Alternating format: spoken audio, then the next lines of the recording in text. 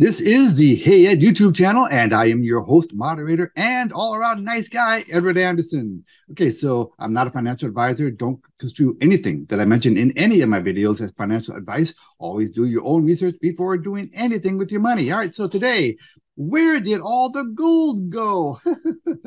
uh, so it's very important for you to understand what the central banks are doing right now with gold because it provides a very big clue about what's going on in the world markets and the world economies and more importantly the world currencies. All right, so let's get some some facts out of the way. The central banks throughout the world now own 35,000 metric tons of gold. To put that in perspective, okay, that is about one fifth of all the gold that has ever, ever been mined. And just in June this year alone, these banks have added another 60 metric tons to their totals. These are stats that come to us from the World Gold Council. So uh, I take them as pretty solid numbers. So why are they doing this? Why are they hoarding all of the gold? First of all, let's talk about how they're doing it. Now, in our case, the Federal Reserve, what they do is they print out of thin air this worthless money, and then they go out and they buy gold with it.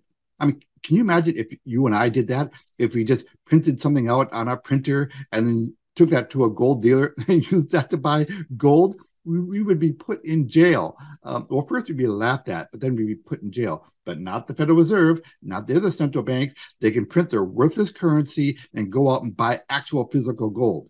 So, what's the big deal with gold? Why do they want to own all this gold? Gold has an inverse relationship with currencies.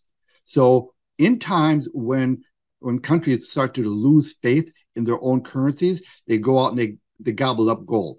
Okay, I'm giving you the Reader's Digest version of uh, of all this. Okay, but that's what's going on. So you could be forgiven for thinking that the Federal Reserve and other central banks around the world are losing faith in their own currencies. Now, there is a worldwide currency crisis going on right now.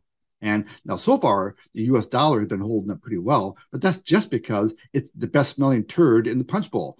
All the other fiat currencies around the world are getting crushed under the US dollar. But the US dollar is going to have its day soon as well because of all the money printing going on. Remember, there's value in scarcity and there's no scarcity of US dollars now. The Federal Reserve has been out of control in their printing of the US dollar for the past couple of years. Just, I mean, they've always been bad, but the past couple of years, it has just exploded.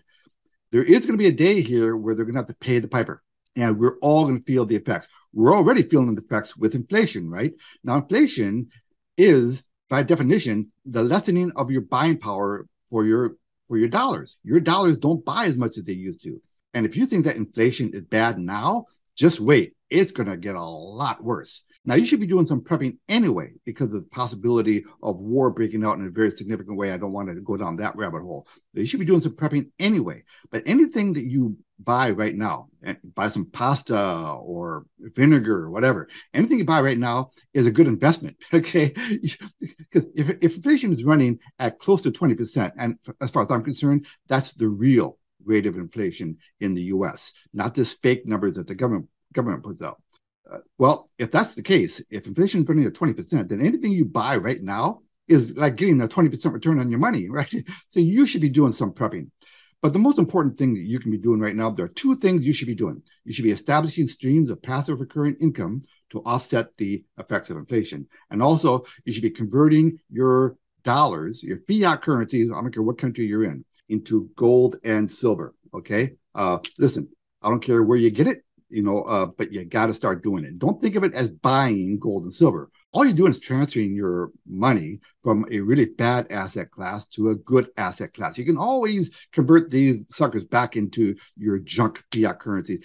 Fiat currencies, like in our case, the US dollar, is trash. It's garbage. They're not worth anything. They're not backed by anything. They're just they're literally just pieces of paper. You got to start reducing your exposure to your banks because that's a whole nother uh, video. I've done lots of videos on that. You got to convert your fiat currencies into gold and silver, and you got to start creating streams of passive recurring income. For getting your gold, um, I've got a spectacular program. I'll have a, a, link to the program below that you, you should look into. You, I've done videos on it, and you can contact me directly. I, I, can talk to you about it. It's a great way of starting to accumulate your gold and silver. And then I've got other programs for establishing streams of passive recurring income. But listen, uh, you got to start doing things now because uh, things are already unraveling at a very fast pace. Listen, if the Federal Reserve is buying gold you know, they're doing it for a reason. They're not doing it just for fun. They're doing it for a reason. And that means the Federal Reserve is starting to lose confidence in our currency.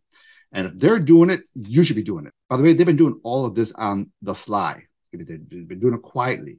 So they don't want you to be buying gold and silver, but they're buying it like crazy. So take their lead. Another thing to kind of keep in perspective is that less than 1% of the world population own any precious metals, gold or silver. So as soon as you buy just one silver coin, you're immediately in the 1%. Okay. You're a one percenter. And all you have to do is get one little silver coin and you're part of the 1%. uh, so that's kind of cool right there, right? Um, listen, the central banks are hoarding gold and silver at record rates right now. And you should take that as a sign and you should follow their lead you should be acquiring gold and silver yourself. Okay, that's it for now. Edward Anderson signing out. Copy that.